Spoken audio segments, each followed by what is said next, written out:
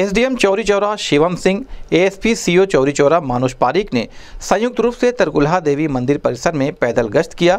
इस दौरान मंदिर परिसर में खुले में शराब का सेवन करने को मना किया गया तथा मंदिर क्षेत्र में स्थित सिंह भोजनालय में कुछ व्यक्तियों द्वारा अनाधिकृत रूप से खुले में शराब का सेवन करते हुए पाए जाने पर एसडीएम चौरी चौरा द्वारा प्रतिष्ठान को सील किया गया। इसके अलावा मंदिर परिसर में स्थित सरकारी अंग्रेज़ी व देशी शराब की दुकानों की चेकिंग की गई, जिसमें एक दुकान का प्रमाण पत्र पता संदिग्ध प्रतीत होने पर जाँच किया जा रहा है।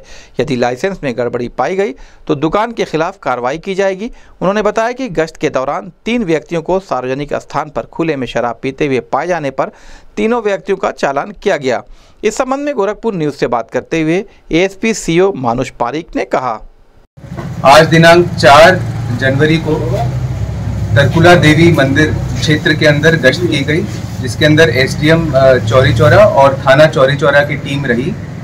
इसके अंदर ये पाया गया कि कुछ होटल और कुछ दुकानों पे जो शराब का अनाधिकृत रूप से सेवन कराया जा रहा था, उनको सील किया गया है और जो शराब की जो दुकानें हैं, उनके लाइसेंस चेक किए जा रहे हैं। और यदि संदिग्ध पाए जाते हैं तो उसके ऊपर अग्रिम वैधानिक कार्रवाई की जाएगी।